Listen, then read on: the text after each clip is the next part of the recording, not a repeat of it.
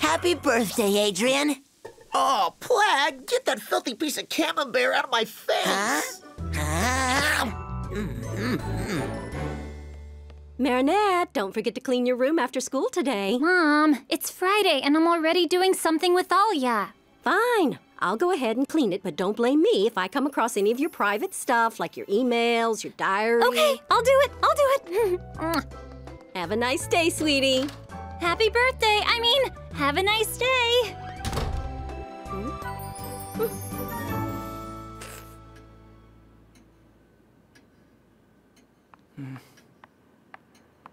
Your schedule, Adrien? Thanks, Natalie. Hey, uh, my father get back to you about my birthday party? Well, um, he doesn't think it would be a good idea. Of course not. Happy birthday, Adrien. Dude, seriously? Has your dad always been such a downer? You think he'd at least remember what it was like to be young and want to party a little? No, I'm pretty sure he was a downer back then, too. Well, at least I tried. It's your B-Day, dude! Insist! You can do it. You can do it. I can do it. I can do it. You know what? I'm gonna have a little convo with your pops. Don't waste your time. He's not gonna change his mind. No, you don't, girl. You've been stalling all morning. Now's the time.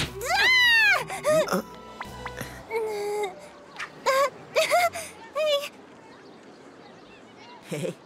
Wait, am I seeing what I think I'm seeing? Don't tell me it's Adrien's birthday. Ugh, do I have to do everything myself? Seriously, what are you good for? I, uh, I wanted to, um, gift you a make. I mean, gift you a gift I made. I mean, Out of the way. Happy birthday, Adrien. Mwah. Yeah, thanks, Chloe. dummy. Did you get the gift I sent you? Uh, no? What? Oh, those delivery guys. I bet it was too heavy, so they had to go back and get another guy to help. Those slackers. I'll make sure they get it to you by tonight.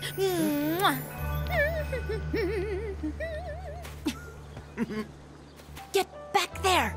Don't be a pushover. Literally. What did you get him? I didn't. You did. And it better be amazing, and it better not be late. Come on, you can do it.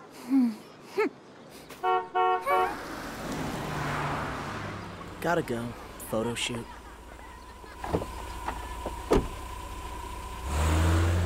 Why can't I just mean what I say? Uh, say what you mean?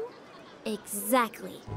Looks like I've got some business to take care of with Adrien's old man. Hello, Mr. Damocles. I am Mr. Agrest's executive assistant, Natalie. Hello, miss. Pardon me, but uh, where is Mr. Agrest? I'm here. Ah, uh, hello, Mr. Agrest. Welcome to our school. Adrien, take Natalie around. Oh, there's Mr. Agrest. He's coming this way. As you'll see, Mr. Agrest, our students have poured their hearts and souls into their projects. Where have you been? You got your hat? Yep. Here. what? But it's the same as Chloe's. What? Uh, hi, Mr. Agrest. Um, I'm Chloe Bourgeois. You know my father, Andre Bourgeois, the mayor. Oh, that thieving little brat! Do you want me to take care of it? I think I can handle this. Hmm. Turn the tablet back to Miss Bourgeois' hat. Is this a joke? No fair! Marinette copied my design. It's scandalous. How could you do that?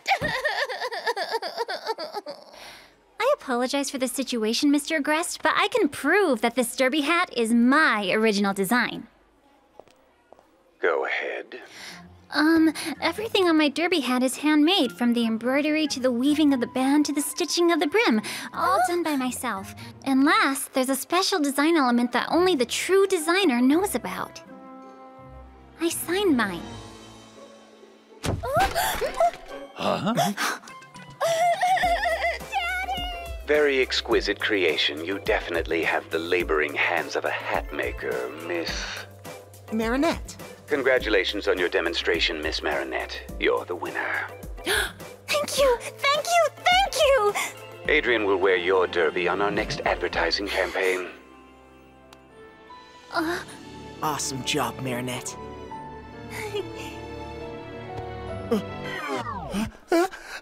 Achoo! Uh, Sorry, I'm allergic to feathers.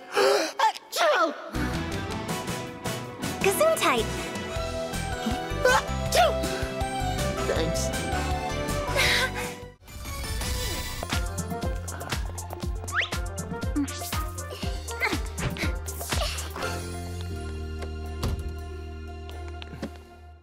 Where is she?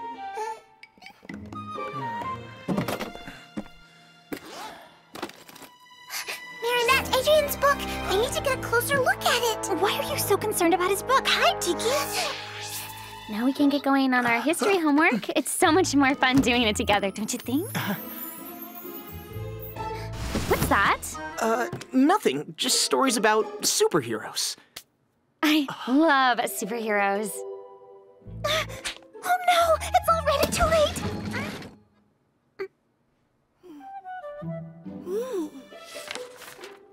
Ladybug?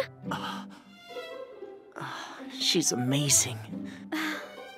A girl doesn't need to wear a costume to be amazing, you know. Uh, I don't know. I mean, I. So, you've got a little soft spot for the bug, huh?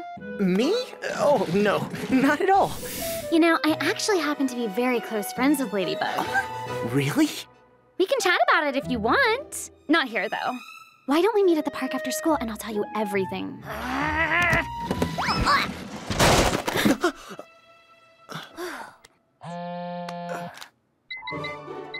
I gotta go. I've got a lesson in 58 seconds.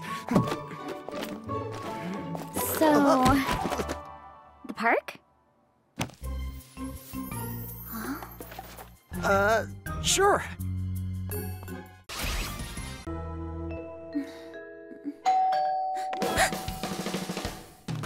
Hey, Marinette. Adrien, what in the, what are you? Alya called me. She said you needed someone who speaks Chinese. Well, here I am. Translator at your service. No, I mean, yes! Uh, where's Alya?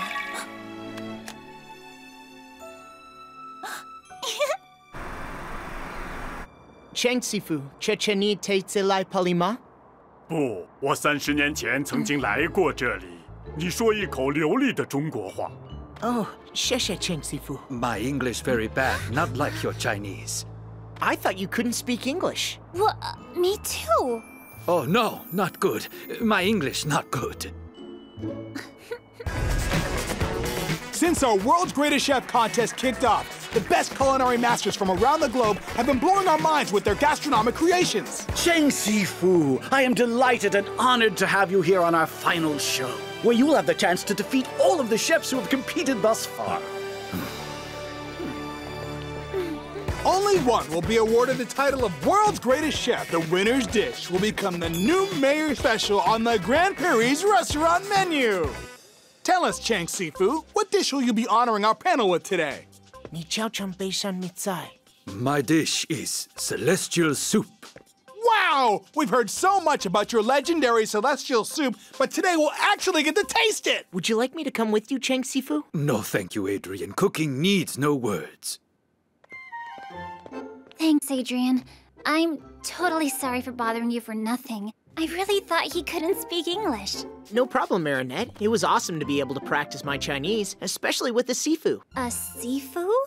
That means master in Chinese. Your mom's uncle is a great master. Well, look who it is. My favorite person, Marinette Dupain-Cheng. I mean, seriously, does your great uncle really expect to win the contest with a soup? It's not even a main dish. Please! Doesn't he know how to make sushi like everyone else? Japanese people make sushi, hmm. Chloe. Cheng Sifu is Chinese. Besides, he's not like everyone else. My great uncle is the best chef in the world. His soup is legendary. Well, I despise soup. So what? Didn't you know? I'm on the jury. Your uncle will not be getting my vote, for sure. Oh, yeah? Well, he doesn't need your vote to win. There are other hmm. judges with much better taste than yours. Huh, silly me. You don't have any taste. I mean, look at what you're wearing. You don't talk about me like that. You've made a big mistake. Wow, you really stood up for Cheng Sifu. He would have appreciated that. I'm not sure. I don't think he likes me. Oh no, you're wrong.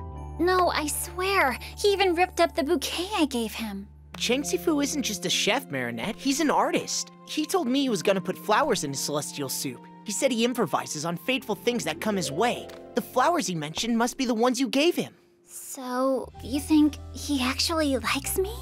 Totally. He's shown you great respect in his own special way.